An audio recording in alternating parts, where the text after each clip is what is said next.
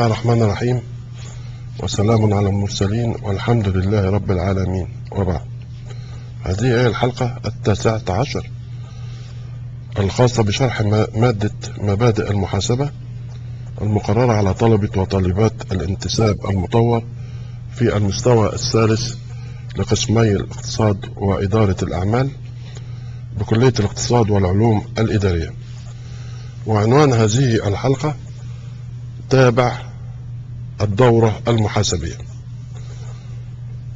ثالثا مرحلة الترصيد وإعداد ميزان المراجعة والقوائم المالية.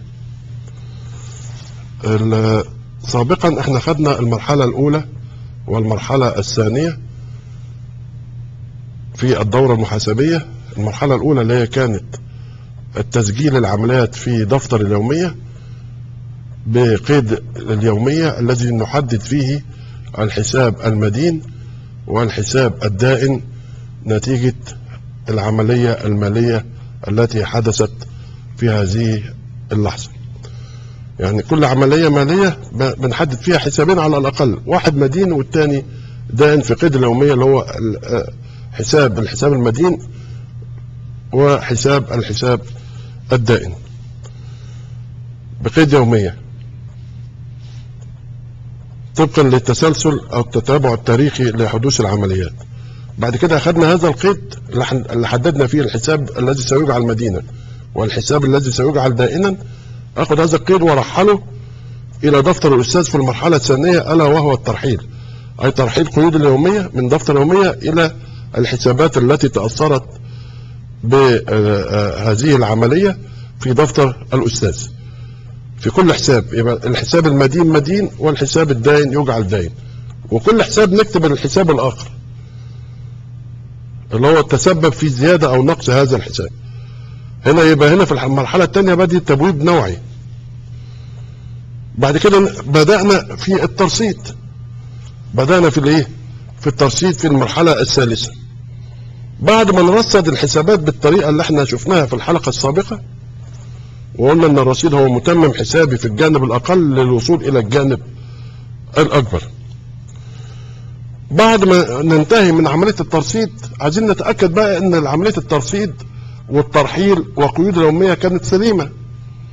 فبنعمل ما يسمى بميزان المراجعة. ميزان المراجعة ده عبارة عن كشف ببيان الأرصدة الحسابات اللي موجودة في دفتر الأستاذ. رص-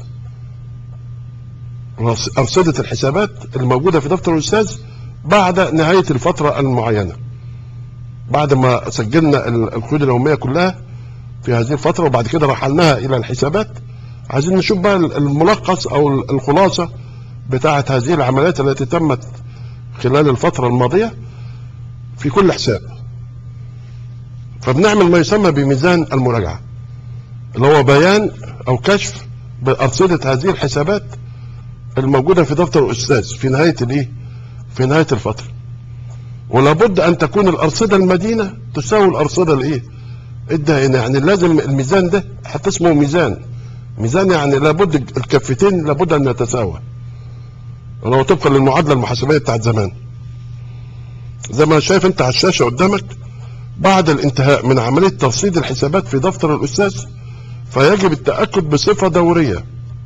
من صحة تطبيق قاعدة القيد المزدوج القيود اليومية اللي إحنا عملناها في دفتر اليومية وج- والإجراءات المحاسبية المتمثلة في القيد والترحيل والترصيد. لازم نتأكد إن عملية القيد قيود اليومية كانت سليمة ثم الترحيل كان سليم ثم الترصيد كان أيضا سليم. والتحقق من استمرار توازن المعادلة المحاسبية ويتم ذلك من خلال إعداد ما يسمى بميزان المراجعة. يعني ميزان التحقق. إن الأرصدة المدينة تساوي الأرصدة الدائنة أو الجانب المدين. في المعادلة المحاسبية يساوي الجانب الدائن. الأصول والمصروفات لابد أن تساوي الالتزامات والإيرادات. الالتزامات سواء كانت خصوم أو حقوق ملكية. والذي يعد كشف بأرصدة الحسابات. الميزان المراجعة ده بيعتبر إيه؟ كشف بأرصدة الحسابات بدفتر الأستاذ. ويأخذ ميزان المراجعة على الشكل التالي بالتطبيق على المثال السابق في الحلقة السابقة. يعني تبع المثال اللي إحنا اشتغلنا عليه في الحلقة السادسة عشر ولكن بعد إضافة المطلوب إعداد ميزان المراجعة ثم إعداد القوائم المالية في 15 2 هناخد كل حساب من دول هو حساب النادية كان رصيده كام؟ مدين. ب 500 كام؟ 75000 يبقى نيجي آه، النقدية بالبنك. وبعد كده رأس المال كان رصيده داين ب 600000 يبقى يظهر في ميزان المراجعة رأس المال داين ب 600000 رصيده داين أما حساب النقدية بالبنك رصيده مدين ب 575 حساب القرض رصيد دائم ب 150000 حساب مباني رصيد مدين ب 350000 طبقا لعملية الترصيد اللي إحنا شفناها زمان. بعد كده حساب الدائنون أنا بتكلم على ميزان مراجعه في 15 2 ماليش دعوه أنا ب- بالرصيد المنقول ده, الرصيد المنقول ده في بداية في بداية الفترة التالية.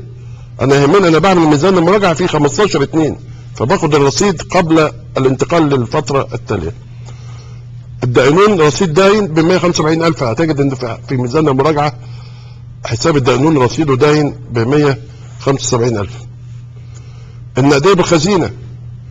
رصيدها مدين ب 22000 وكام و500 كل ده هنلاقيه في الكشف دلوقتي حالا. حساب ايرادات خدمات. رصيده داين بكام ب 25000 بعد كده آخر آخر حساب اللي هو حساب مصروفات دعاية وإيه؟ وإعلان ب 2000 وإيه؟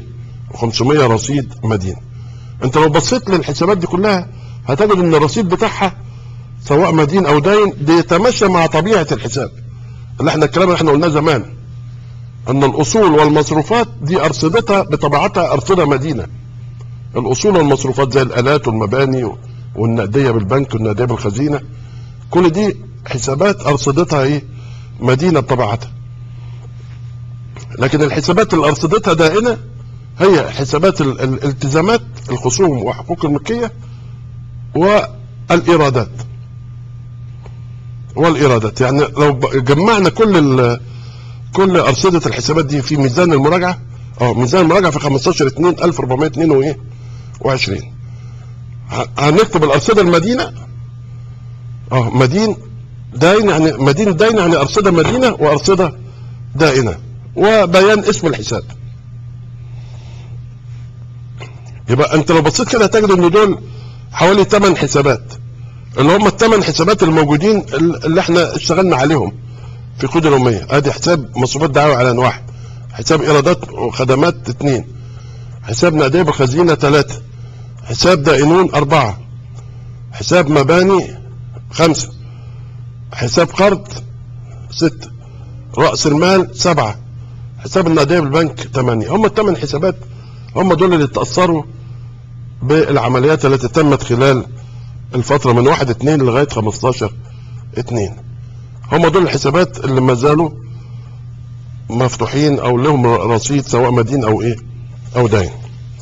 هتجد إن الارصده المدينة هم عبارة عن نقديه بالبنك نقديه بالخزينة حساب مباني حساب مصروفات دعاية وإيه وإعلان. يبقى دي كلها أصول وإيه ومصروفات. أنا قلت ال- الرصيد بيتمشى مع طبيعة الإيه يتمشى مع طبيعة الحساب. أما الأرصدة الدائنة فهي حساب دائنون حساب قرض حساب رأس المال وحساب إيرادات خدمات. لو جمعنا الأرصدة المدينة هتطلع 950 ألف. يبقى لازم على طول الأرصدة الدائنة برضو أيضا كام؟ 950 ألف. لازم. لو جمعنا هنلاقي نفس الكلام مظبوط. 525000 وعندي 22500 وفي 2500 يعني 25000 يبقى 25000 و575 يعني 600000 600000 و350000 يبقى 900 وإيه؟ و50 ونفس الكلام آه في ال- الجانب الداين. عندي 175000 وعندي 25000 تحت يبقى 200000 200000 و150 يعني 350 350 و600 ألف ريال رأس المال. يبقى 950 ألف. هم الأرصدة الداينة تساوي الأرصدة الإيه؟ المدينة.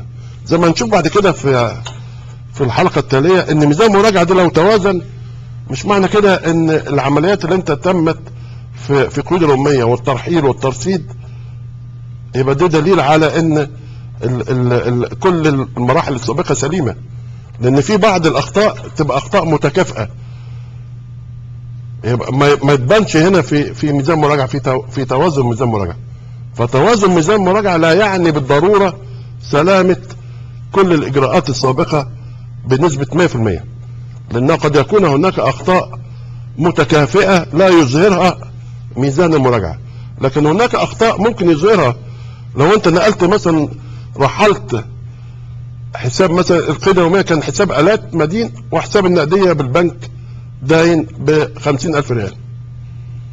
فرحلت أنت لحساب الآلات 50000 مدين وجيت في حساب البنك بدل ما تخليها 50 خليتها 5000 بس نسيت صفر.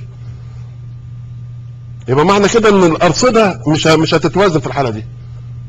الأرصدة المدينة بتاعت الأصول مش هتتوازن. لأن أنت رحلت جانب 50 ورحلت الجانب ال- العكسي في حساب تاني 5000 يبقى دي خطأ ممكن يكتشف. في عدم توازن ميزان المراجعه زي ما نشوف تمرين بعد كده. لكن في أخطاء. يعني لما تكتشف هذا الخطأ يروح جاي أنت كل الموضوع اللي أنت هتعدل ال ال ال ال الخطأ اللي هو كان موجود في البنك بدل هيجعل دايم بخمسة لا تزوده بكام؟ تروح جاي مجعله زيادة ب 45 يبقى أنت كده جعلته داين ب 50 زي ال- المباني لما جعلت مدينة ب 50 زي ما هنشوف بعد كده في الدرس القادم إن شاء الله. هنشوف الأخطاء التي يمكن أن يترتب عليها عدم توازن الميزان. أو لما تيجي تنقل مثلا رصيد من الحساب إلى ميزان مراجعة نقلته نسيت صفر مثلا أو نسيت رقم. يبقى برضه الميزان مش هتوازن. يبقى لازم ترجع تاني إلى الخطوات السابقة لإعداد الميزان عشان تعرف الخطأ فين. بعد إعداد ميزان المراجعة هذا بيتم إعداد القوائم الإيه؟ المالية. أنا عايز أفكركم بس بحل أنا حليت هذا التمرين في حلقات سابقة بس باستخدام المعادلة المحاسبية. طيب نرجع بقى نفتكر في ال ال ال الحلقات السابقة كنت حلينا نفس المثال ده بس باستخدام المعادلة المحاسبية زي ما قلت. لو بس لو افتكرنا هنجد إن كان الآخر معادلة آخر معادلة محاسبية بعد آخر عملية في 25 2 كانت عبارة عن الشكل الاتي أهي. كان عندي برضو 8 حسابات. اللي هم اللي كانوا موجودين قدامك دلوقتي في ميزان مراجعة. عندي النقديه بالبنك كام؟ هنا 575 هتجد إن في آخر معادلة محاسبية إحنا عملناها زمان النقديه بالبنك كام؟ 575 النقديه بالخزينة كام؟ 22500 أهي موجودة. حساب مباني 350000 هتلاقيه موجوده هنا مباني 350000 يعني أنا عايز أقول إن استخدام مفهوم الحساب وال- والجانبين بتوع المدين والإيه؟ والداين وقيود اليومية ثم الترحيل إلى دفتر الأستاذ في الحسابات. المدين مدين والداين داين. ثم الترصيد. واعدام ميزان مراجعة هيديني نفس آخر معادلة محاسبية إحنا كنا توصلنا لها لما حليت التمرين ده باستخدام البيان الأثر على المعادلة المحاسبية. يعني أنت لو أنت بصيت في الشاشة اللي قدام سيادتك بيقول لك ينبغي ملاحظة أن أرصدة ميزان المراجعة السابق ميزان المراجعة اللي إحنا لسه واصلين له دلوقتي بعد ال- ال- القيود الاميه والترحيل والترصيد تمثل أرصدة هذه الحسابات في آخر معادلة محاسبية التي تم التوصل إليها في الحلقة الحادية عشر عند حل هذا التمرين باستخدام المعادلة الإيه؟ عند حل هذا التمرين باستخدام المعادلة المحاسبية. وبيان أثر العمليات المالية عليها يعني أنا عايز أقول لك إن العملية واحد. بس طبعا أنا هنا دي حوالي خمس ست عمليات ترتب عليها تأثير على ثمان حسابات. لكن في في الشركات الكبرى والشركات الأخرى ما تبقاش ثمان حسابات هتبقى 50 60 حساب يمكن أكتر. مئات الحسابات. فهتجد إن كل الارصده هي دي نفسها اللي إحنا وصلنا لها في ميزان الإيه؟ المراجعة. تجد الدائنون 175000 والقرض 150 رصيده. آه. قرض 150 والدائنون 175 بس إحنا لما كنا بنشرح المعادلة المحاسبية دي كنت بزود وانقص أنا في البند نفسه نتيجة الزيادة أو النقص وبجيب الرصيد على طول مباشرة بعد كل عملية. طبعا هذا الكلام ما ينفعش دلوقتي في ضخامة العمليات وتكرارها وتعددها في ال- اللحظة الواحدة. مش في الدقيقة في اللحظة الواحدة في الثانية الواحدة. بيبقى في مئات بل ألوف العمليات على مستوى العالم. بالنسبة لو كان شركة عالمية أو شركة دولية أو شركة متعددة الجنسيات زي ما بيقولوا. رأس المال 600000 وإيرادات خدمات 25000 آه، آه، في ميزان مراجعة. راس المال 600000 إيرادات خدمات 25 وهكذا. بمعنى إن بعد ميزان مراجعة هذا بيتم إعداد بقى القوائم المالية اللي هي هنا قيمتين أساسيتين اللي هي قائمه الدخل وقائمه المركز المالي. هيبقوا نفسهم اللي أنا كنت عاملهم زمان مع المعادلة المحاسبية. هم نفسهم بالظبط. آه ادي قائمه الدخل هتبقى زي ما هي. في 15 2 يعني القوائم الماليه اللي هي الناتج النهائي في النظام المحاسبي مش هتفرق خالص سواء استخدمت المعادلة المحاسبية أو استخدمت مفهوم الحساب. يبقى الإيرادات هاخد الإيرادات وأطرح منها الايه المصروفات. يديني صافي الدخل اللي هو صافي الربح هنا طلع 22000 وإيه؟ و500 آخد صافي الربح ده أوديه آه، قائمه المركز المالي في صورة زيادة إلى رأس المال كربح. ولابد أن ال- قائمه المركز المالي لابد أن تتوازن. لو بصينا كده هتجد ال- قائمة المركز المالي اللي هي الأصول والالتزامات دون الإيرادات والمصروفات اللي هي يعني أنا خدت كل ميزان المراجعة ده يعني لو بصينا لكل بند من البنود لازم نعرف طالما أصول أو خصوم التزامات يبقى دي مكان قائمة مركز المالي. اللي هيروح قائمة الدخل هم حاجتين اتنين الإيرادات والمصروفات.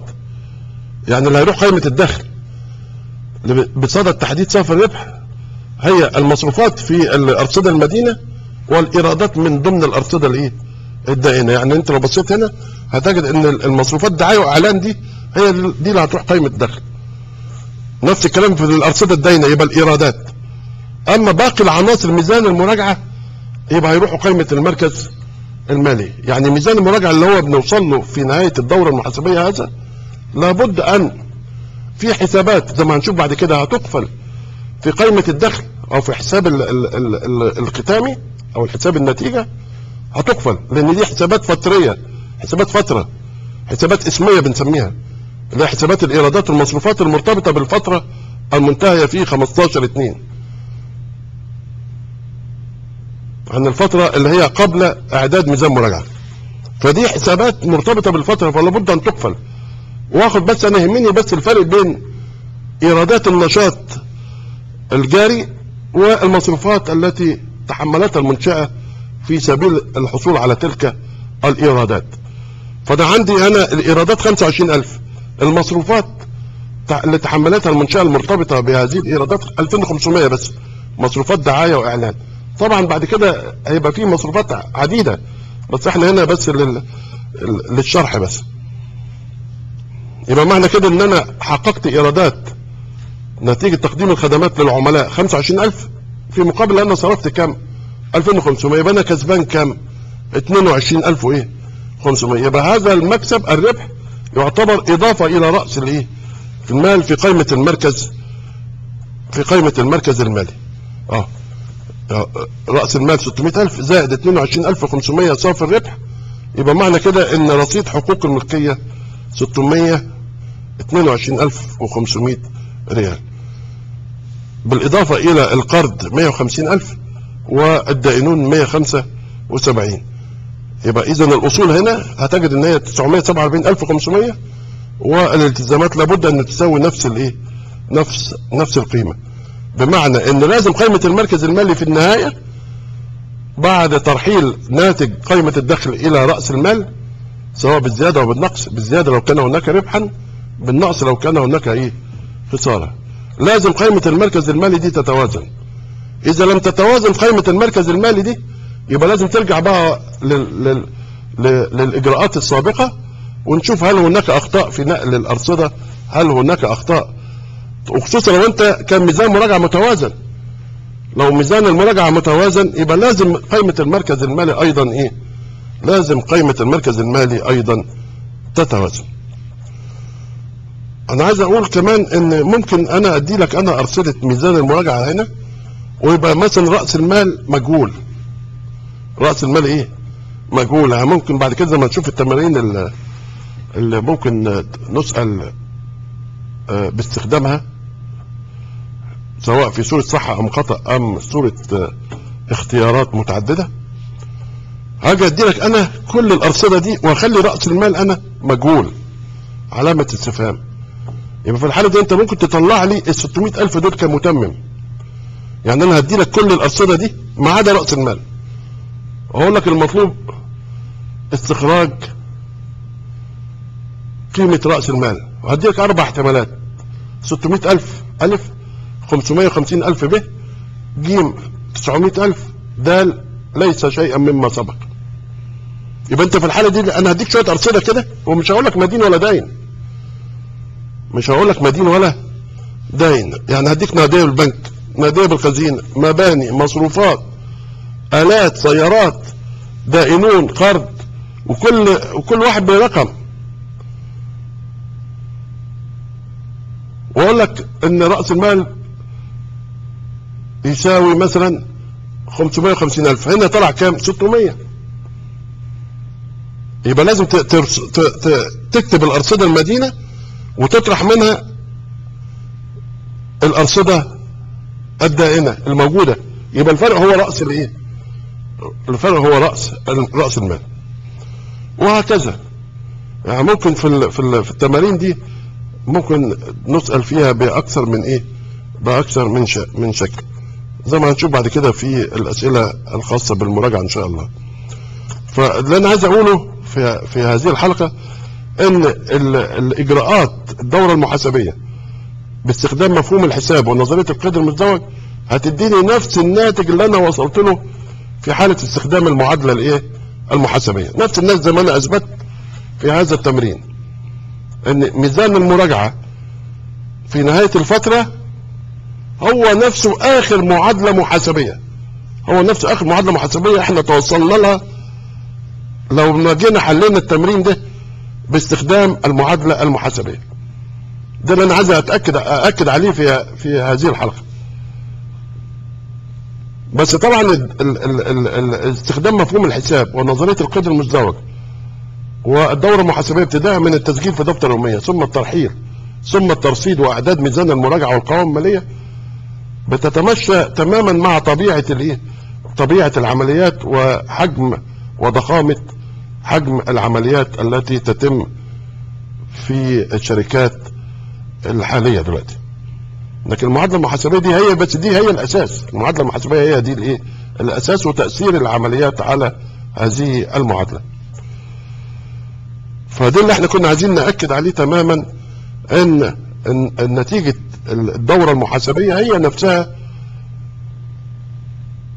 تأثير العمليات على المعادلة المحاسبية. ولذلك أنا قلت زمان إن الدرس بتاع المعادلة المحاسبية ده هو ده أهم درس في المحاسبة المالية. لأن اللي يفهم التاثير العمليات على المعادلة المحاسبية دي وبفرض إن المعادلة لابد أن تكون متوازنة بعد كل عملية وفي أي وقت نفس الكلام برضو في فكرة استخدام فكرة الحسابات ونظرية القيد المتزوج. برضو لازم الأرصدة المدينة تساوي الأرصدة الإيه؟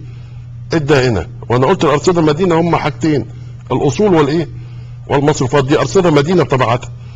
أما الالتزامات في صورة الخصوم أو حقوق الملكية أو الإيرادات فدي أرصدة دائمة بطبيعتها. ولا بد من الأرصدة المدينة تساوي الأرصدة الإيه؟ تساوي الأرصدة الدائنة. في أي لحظة وبعد أي عملية. بعد نتيجة طبعا ترصيد الحسابات في دفتر الأستاذ والترحيل وإجراء قيد الأمية والترصيد والتأكد عن طريق إعداد ميزان المراجعة قبل إعداد القوائم المالية. طبعا بعد كده أنا هاجي أقول بعد ما أعمل ميزان المراجعة وقبل ما أعمل قوائم مالية قد يتم إجراء بعض التسويات على بعض المصروفات. يعني لو جيت قلت أنا إن لو جيت قلت إن ال 2500 مصروفات لسه هناك مصروف لم يتم إثباته يبقى لازم أعدله بما يسمى التسويات الجردية. وفي نهاية هذه الحلقة أرجو أن نكون قد وفقنا في تحقيق الأهداف المرجوة منها. والى حلقة قادمة. أستودعكم الله. والسلام عليكم ورحمة الله وبركاته.